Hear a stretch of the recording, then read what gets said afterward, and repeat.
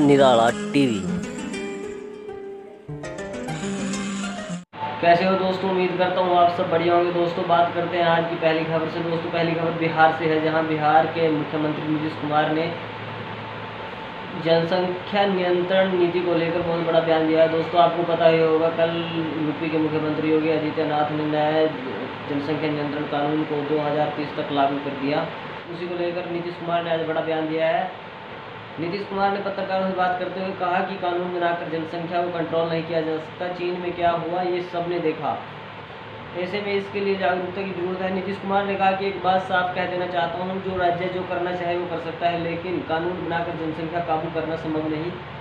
महिलाएँ जब जागरूक रहेंगी तो प्रजनन भर कम होगा। आगे सीएम नीतीश ने कहा, हम लोग तो इस पर भी काम करेंगे।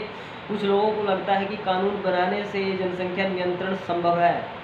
तो वो उनकी सोच है, हमारी सोच अलग है। हम लोग तो अपने हिसाब से और अपनी सोच से काम करेंगे। दोस्तों, आपको पता ही होगा, नीतीश कुमार का ये तंज योगी आदित्यनाथ को लेकर था और उन्होंने साफ़ कहा कि कुछ लोगों को लगता है कि कानून बनाने से जनसंख्या नियंत्रण संभव है। और दोस्तों, आपको बता दें, जम्मू कश्मीर की पूर्व मुख्यमंत्री महबूब मुफ्ती ने एक बार फिर अनुच्छेद 370 और धारा पैंतीस ए की बहाली के लिए कहा उन्होंने कहा कि अनुच्छेद 370 और 35 ए और डोमिसाइल कानून विदेशी मुल्क के द्वारा नहीं दिए गए। इससे पहले कि राष्ट्र हमें ये देता महाराजा हरि सिंह इसे जम्मू कश्मीर के लोगों की पहचान की रक्षा के लिए लाए थे। उन्होंने कहा था कि हमारे पास एक कानून है जिन्हें बरकरार रखना है। महबूबा मुफ्ती ने कहा कि, लेकिन इन कानूनों के निरस्त होने के बाद ऐसा लगता है इसके पीछे एकमात्र मकसद जम्मू कश्मीर को लूटना था। चिनाब वैली पावर प्रोजेक्ट में बिहार बाहर के लोगों को शीर्ष स्थान दिया जा रहा है। हमारा पानी और बिजली बाहर जाती है। हमारे ट्रांसपोर्टर मुश्किल में हमें टोल टैक्स देना है।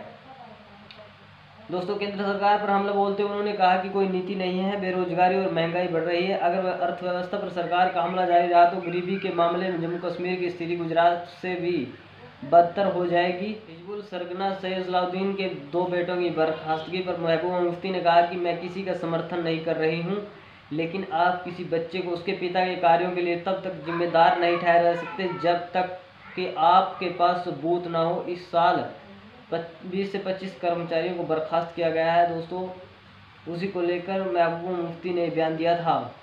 और दोस्तों, आपको बता दें, राकेश टिकैत ने बड़ा बयान दिया है। राकेश टिकैत ने सोमवार को बड़ा ऐलान किया। उन्होंने कहा कि किसान आंदोलन को और तेज करने के लिए पाँच सितंबर को एक बड़ी पंचायत करेंगे। पंचायत में आंदोलन के लिए आगे की रणनीति बनाई जाएगी। राकेश टिकैत ने अटकलों पर विराम लगाते हुए एक बार फिर कहा कि वो चुनाव नहीं लड़ेंगे, लेकिन वोट की चोट देंगे।